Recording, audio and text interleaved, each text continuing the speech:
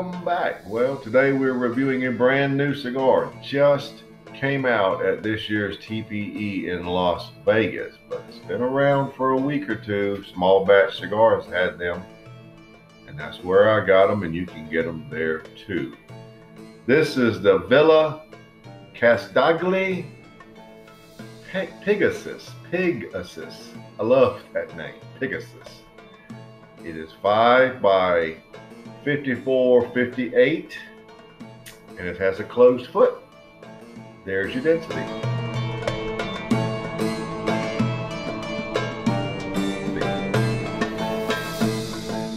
Now you might remember uh, back a while, uh, bespoke cigars. Well, there was sort of a trademark infringement that uh, Alec Bradley said you can't use that name. That's uh, I have that in the U.S. market. So bespoke cigars became Casdagli, and uh, that's where we are. So uh, if you remember bespoke, uh, Casdagli is basically the same thing. Now this is um, based on uh, this type of blend is based on the Daughters of the Wind uh, series that uh, uh, Bespoke had such great success with.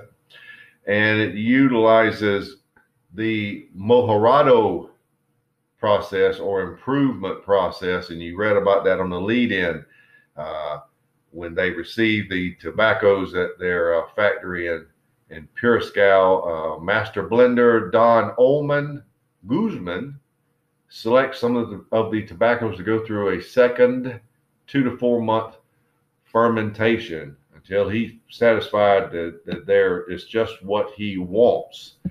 Now, uh, this Pegasus uh, was originally uh, started in Cuba during the 1990s uh, and is sometimes referred to as the flying pig vitola.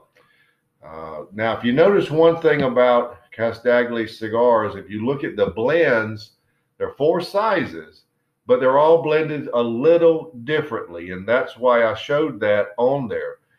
This particular size, the Pegasus, has uh, two times the Peruvian tobacco, uh, one time of the Dominican Republic tobacco, and one time Nicaraguan.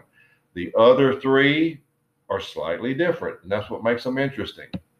All of these are available in 12 count boxes.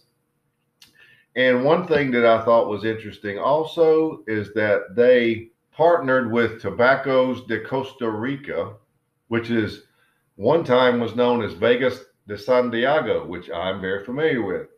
Uh, they go back a long way with me. I've reviewed their cigars for a while. So that's the factory. So that's sort of the long and the short of it. So why don't we get right to it? The new Villa Casdagli Pegasus.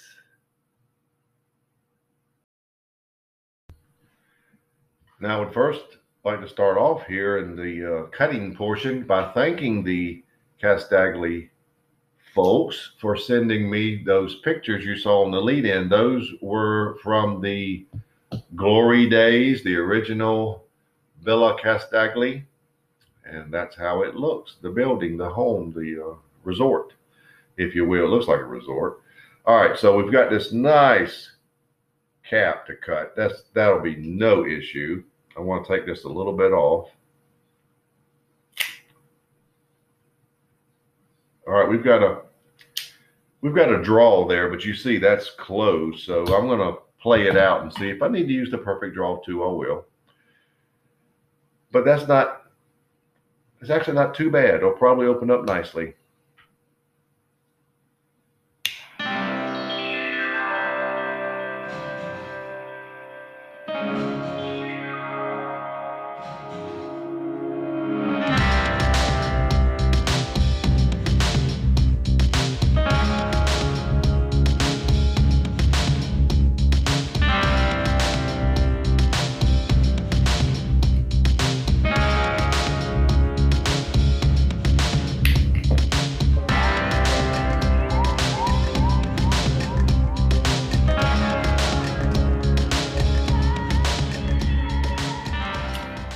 Not have to worry about sweetness in this cigar.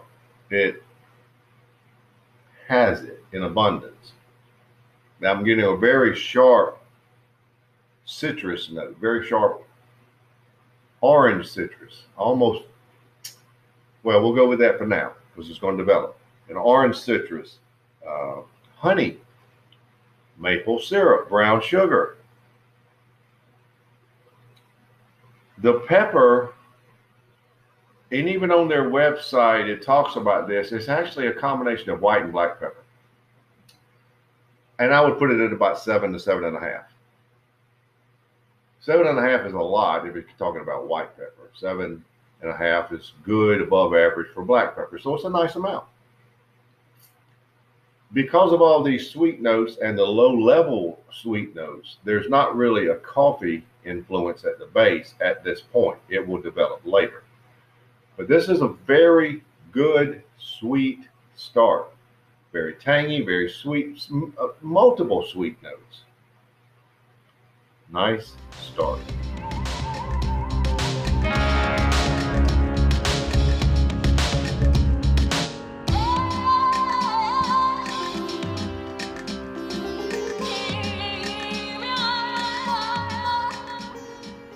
First third. And look at that burn time. Now we're in the fattest part of the cigar, so the burn time is going to be a little longer. It will probably speed up. But the cigar is rounding out really nice. You still have the same flavor notes. The the orange citrus, I'll call it orange citrus, is very sharp and it's very tangy. And at at times it's almost like a very sweet lemon. Follow me. So the flavors, as they merge, remind me of a lemon drop, the candy lemon drop. You know, probably as a kid, you had lemon drops. And they were very sweet, very tangy, almost tart. And you loved them that's very reminiscent of the flavors in this cigar.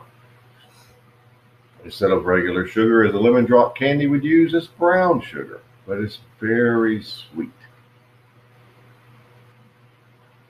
There is the beginnings of a very light black coffee base. The lower level notes, the lower level sweet notes, and I'll include the maple syrup in there because this is sort of a lower level, and the and the brown sugar. They're they're at the base, but now there's a little black coffee at the base. You can taste it. There is also some nutmeg that has developed in the cigar. I would call it um, medium bodied at this point. The finish is very tangy, very sweet. The citrus notes, the brown sugar, some of the nutmeg, and very good lingering pepper. And we said it was white black, so call it what you want. It tastes a little more like black on the finish because it's a little more popping. White pepper is a little more subdued, so it's a little more black pepper-ish on the finish. But this is an all-out, no joke, sweet, tasty cigar as my reviews have gone this year, you know that it's hard to hit a very high mark, but this one has hit it in the first third 97 for the first third. It is fantastic. It is above fantastic. It is great. Now, as it develops, let's see what happens, but right now, there are no complaints.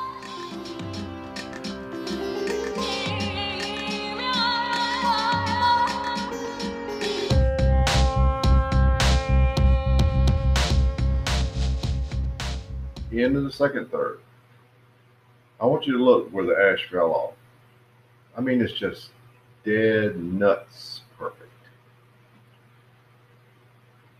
All right, indulge me here. A little more background. Now, the um, the design on the band is actually the Villa Casdagli and it was the home of Casdagli family patriarch Emmanuel Casdagli in the early 1900s in Cairo, Egypt.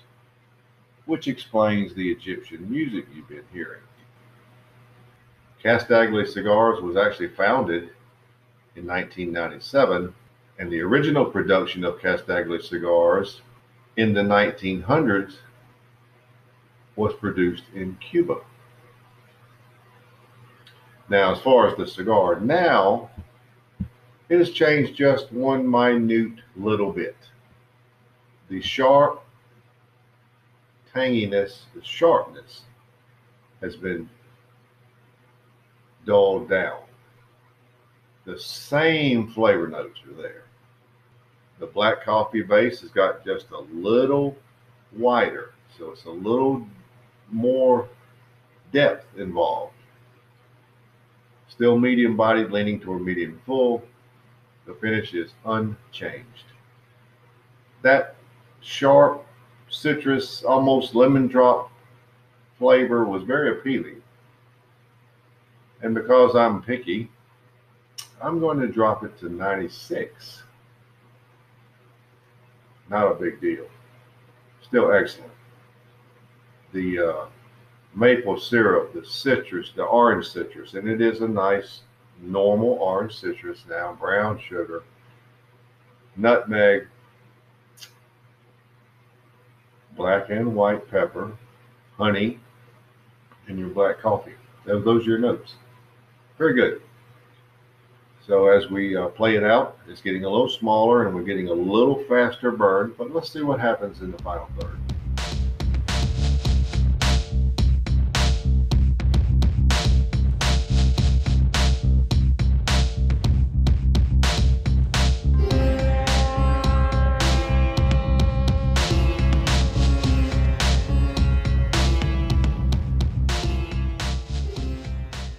Well, we're down to the end, so let's wrap it up. This is going to be nice and quick. Nothing really changed. Um, not enough to change anything. The, the same nice, sweet flavor notes are there. Medium to full bodied. Finish is unchanged. An excellent cigar. Excellent cigar. I'll hold 96 for my final third. It is uh, well worth buying a box. Small batch sells them in four packs, so be aware of that. But once you have four, you'll probably want a box. And they come in boxes of 12. Now, one thing to also note, not to drag things out, I know I have, but the band has a backside. And if that backside of the band is initialed or signed by one of the team members at Villa Casdagli, then you get a, a prize. You can go to their website and they, they explain the different things they're giving away, but that's a promotion they're doing right now. So be aware of that. But your overall score is 96.33. Excellent in anyone's book, especially mine. So there you have it. The new Villa Casdagli Pegasus. Love the name. 96.33.